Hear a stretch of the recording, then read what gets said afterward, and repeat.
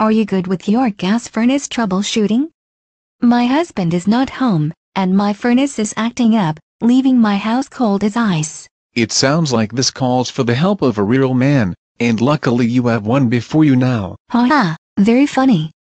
Just help me fix my furnace please. Haha, alright. If your furnace doesn't ignite the gas to produce heat, it's mostly likely due to a faulty igniter. In this case, you will see a few things going on with your furnace. Like what?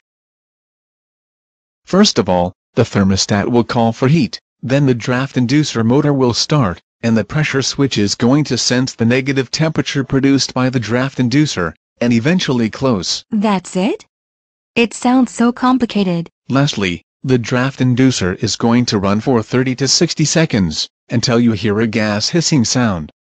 Then your furnace will shut down. So what can I do in this situation?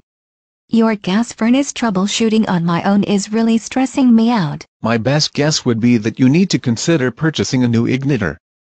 Be sure you inspect yours carefully, and see if there are any cracks on it. What if I find don't find any cracks?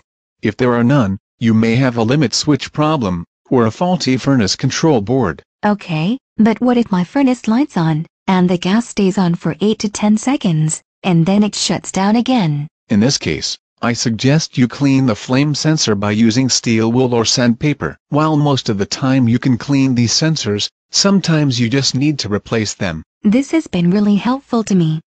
Until my husband gets back home, I'll try and fix the furnace myself. It is my little do-it-yourself project. You do that, but be careful though.